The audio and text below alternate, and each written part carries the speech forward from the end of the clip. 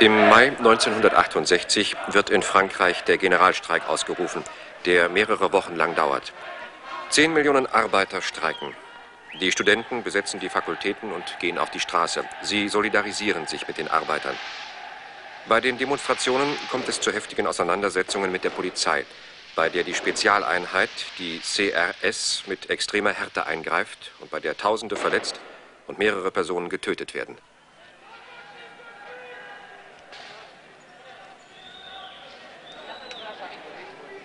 Während des Streiks werden neue Formen der Kommunikation auf der Straße und in den besetzten Fakultäten erprobt.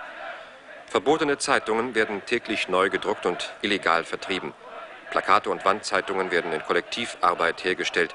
Die Kunst soll als Werkzeug des politischen Kampfes gebraucht werden. Jeder hat das Recht, in Kommissionen und Arbeitsgruppen mitzuarbeiten. Jeder hat das Recht, in Bandinschriften, Zeitungen und Plakaten das Wort zu ergreifen. Es ist verboten zu verbieten, heißt eine der Wandinschriften auf den Mauern der Sorbonne. Auch Filmleute sind unter denen, die sich dem Kampf der Arbeiter und Studenten anschließen. Sie wollen den Film als Waffe im politischen Kampf benutzen, als Mittel zur Aufklärung über alles, was die bürgerliche Presse absichtlich oder unabsichtlich verschweigt.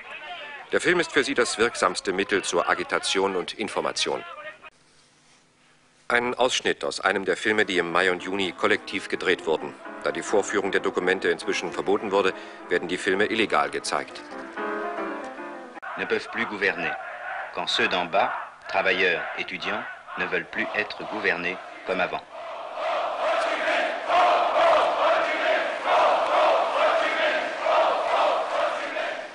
Pour que suive la révolution, il faut deux choses de plus, une organisation, une théorie révolutionnaire. Ich glaube, dass ein Arbeiter, der bei einem Film mitmacht, verstehen wird, welchen Unterschied es ausmacht, ob er als Zuschauer irgendeinen idiotischen Film anschaut oder ob er selbst Filme macht. Bisher hat ihm das die bürgerliche Gesellschaft verweigert. Und er weiß genau, dass es für ihn eine einmalige Chance ist, einen Film zu machen und dass er diese Chance nie wieder haben wird. Eben weil die Filme gewöhnlich von der bürgerlichen Gesellschaft gemacht und bestimmt werden. Il n'y a pas de problème. Il, se rend parfaitement compte que euh, c'est une chance qu'on lui a donnée, tu vois, de pouvoir faire un film. Or, cette chance, il n'aura plus jamais. Il n'aura plus jamais parce que, parce que habituellement, les films sont faits par euh, et sont déterminés par la société bourgeoise. Die Filme vom Mai, so wie dieser, der die Solidarisierung der Arbeiter und Studenten zeigt, sollen die Erinnerung an die Ereignisse des Mai wachhalten und zur Fortsetzung des Kampfes aufrufen. Euh, wir versuchen auf keinen Fall, die Filme für die Regierung akzeptabel zu machen, indem wir bestimmte Sequenzen herausschneiden.